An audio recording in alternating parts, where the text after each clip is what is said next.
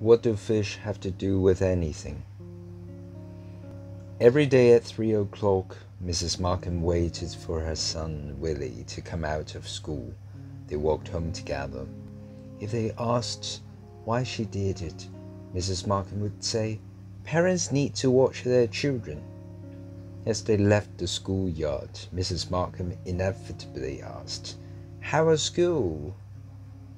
Willie would begin to talk, then stop. He was never sure his mother was listening. She seemed preoccupied with her own thoughts. She had been like that ever since his dad had abandoned them six months ago. No one knew where he'd gone. Willie had the feeling that his mother was lost too. It made him feel lonely. One Monday afternoon, as they approached the apartment building where they lived, she suddenly tugged at him. Don't look that way, she said. Where? At that man over there. Willie stole a look over his shoulder. A man whom Willie had never seen before was sitting on a red plastic milk crate near the curb. His matted, streaky grey hair hung like a ragged curtain over his dirty face. His shoes were torn. Rough hands lay upon his knees. One hand was palm up. No one seemed to pay him any mind. Willie was certain he had never seen a man so utterly alone. It was as if he were some spat out piece of chewing gum on the pavement. What's the matter with him? Willie asked his mother in a hushed voice. Keeping her eyes straight ahead, Mrs. Markham said, He's sick. She pulled Willie around. Don't stare. It's rude. What kind of sick? As Mrs. Markham searched for an answer, she began to walk faster. He is unhappy, she said. What's he doing? Come on, Willie, you know perfectly well he's begging. Do you think anyone gave him anything? I don't know. Now come on, don't look. Why don't you give him anything? We don't have anything to spare. When they got home, Mrs. Markham removed a white cardboard box from the refrigerator. It contained pound cake. Using her thumb, as a measure, she carefully cut a half inch piece of cake and gave it to Willie on a clean plate. The plate lay on a plastic mat decorated with images of roses with diamond like dewdrops. She also gave him a glass of milk and a folded napkin. She moved slowly. Willie said, Can I have a baked piece of cake? Mrs. Markham picked up the cake box and ran a manicured pink fingernail along the nutrition information panel. A half inch piece is a portion, and a portion contains the following health requirements. Do you want to hear them? No? It's on the box, so you can believe what it said. Scientists study people, they write these things if you're smart enough, you could become a scientist, like this. Mrs. Markham tapped the box. It pays well. Willie ate his cake and drank the milk.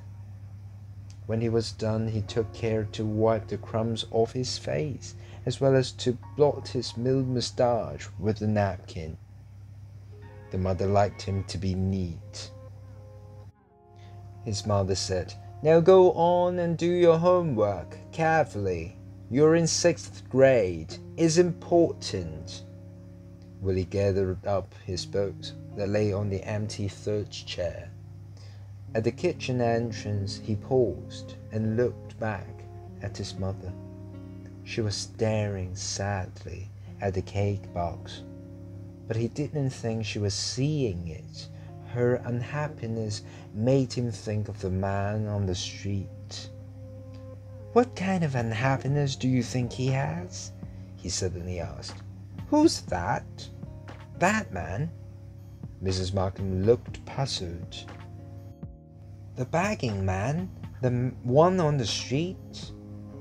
Oh, could be anything, his mother said vaguely. Well, a person can be unhappy for many reasons. She turned to stare out the window as if an answer might be there. Is unhappiness a sickness you can cure? I wish you wouldn't ask such questions. Why? After a moment, she said, Questions that have no answers shouldn't be asked. Can I go out? Homework first. Willie turned to go again. Money, Mrs. Markham suddenly said. Money will cure a lot of unhappiness. That's why that man was banging.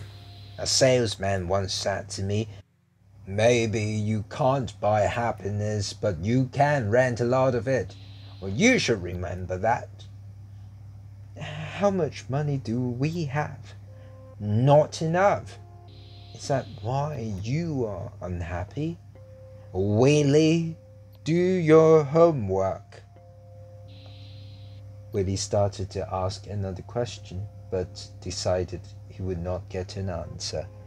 He left the kitchen. The apartment had three rooms. The walls were painted mint green. Willie walked down the hallway to his room, which was at the front of the building. By climbing up on the window sill and pressing against the glass, he could see the sidewalk five stories below. The man was still there. It was almost five when he went to tell his mother he had finished his school assignments. He found her in her dim bedroom sleeping. Since she had begun working the night shift at the convenience store two weeks now, she took naps in the late afternoon. For a while, Willie stood in the threshold, hoping his mother would wake up. When she didn't, he went to the front of the room and looked down on the street again. The bagging man had not moved. Willie returned to his mother's room. I'm going out, he announced softly. Willie waited a decent interval for his mother to wake him, and when she didn't, he made sure his keys were in his pocket. Then he left the apartment. By standing just outside the building door, he could keep his eyes on the man. It appeared as if he had still not moved.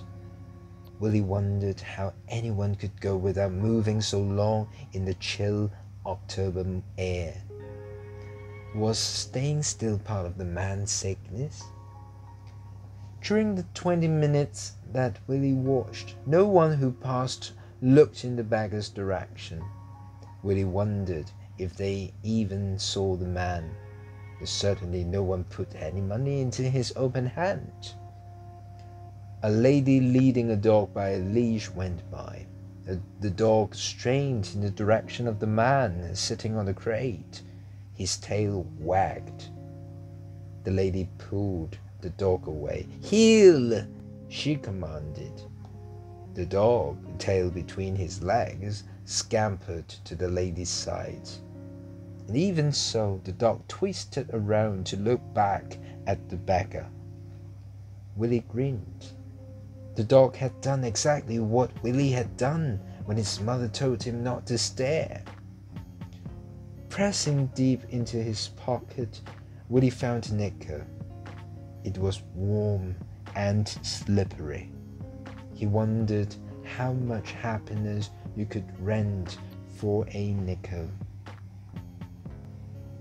Squeezing the nickel between his fingers, Willie walked slowly toward the man.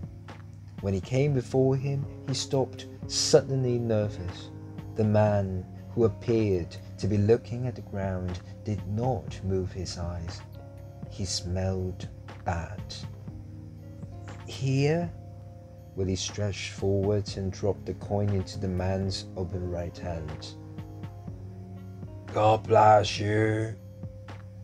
The man said hoarsely as he folded his fingers over the coin. His eyes, like high beams on a car, flashed up at Willie and then dropped. Willie waited for a moment, then went back up to his room.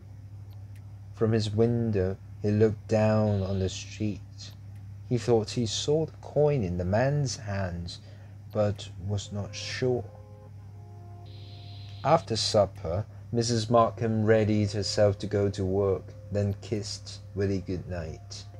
As she did every night, she said, If you have regular problems, call Mrs. Murphy downstairs. What's her number?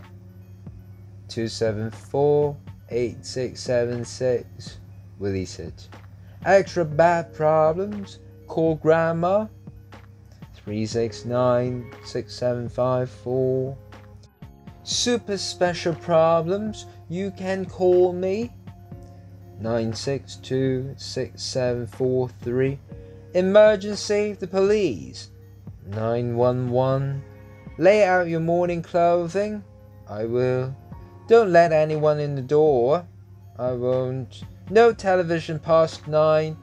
I know. But you can read late. You're the one who's going to be late, Willie reminded her.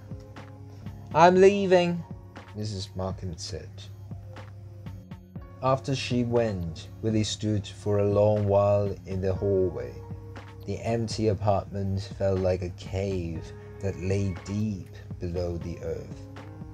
That day in school, Willie's teacher had told the class about a kind of fish that lived in caves. These fish could not see, they had no eyes. The teacher had said it was living in a dark cave that made them like that. Willie had raised his hand and asked, If they want to get out of the cave, can they? I suppose. Will their eyes come back? Good question, she said, but did not give an answer. Before he went to bed, Willie took another look out the window. In the pool of light cast by the street lamp, Willie saw the man. On Tuesday morning, when Willie went to school, the man was gone. But when he came home from school with his mother, he was there again. Please don't look at him, his mother whispered with some urgency. During his snack, Willie said, Why shouldn't I look? What, what are you talking about? That man on the street, begging. I told you he's sick. It's better to act as if you never saw him. When people are that way, they don't wish to be looked at. Why not? Mrs. Markham pondered for a little while. People are ashamed of being unhappy. Willie looked thoughtfully at his mother. Are you sure he's unhappy? You don't have to ask if people are unhappy. They tell you all the time. How? The way they look. Is that part of the sickness? Oh, Willie, I don't know. It's just the way they are. Willie contemplated the half inch slice of cake his mother had just given him.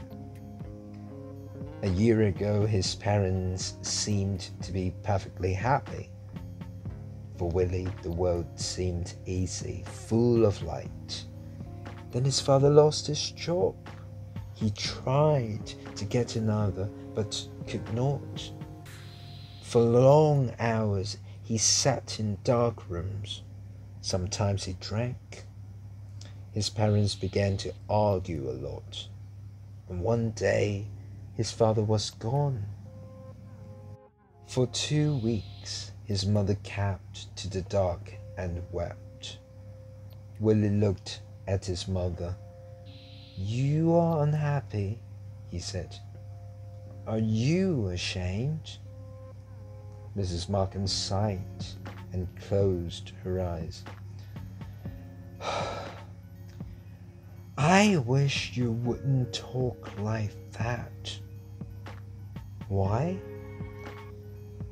It hurts me. But are you ashamed? Willie persisted. He felt it was urgent that he know so that he could do something. She only shook her head. Willie said, Do you think Dad might come back? She hesitated before saying, Yes, I think so. Willie wondered if that was what she really thought. Do you think Dad is unhappy? Willie asked. Where do you get such questions? They're in my mind. There's much in the mind that need not be paid attention to. Fish who live in caves have no eyes. What are you talking about? My teacher said it's all that darkness. The, the fish forget how to see, so they, they lose their eyes. I doubt she said that. She did. Willie, you have too much imagination. After his mum went to work, Willie gazed down onto the street. The man was there. Willie thought of going down, but he knew he was not supposed to leave the building when his mother worked at night. He decided to speak to the man the next day.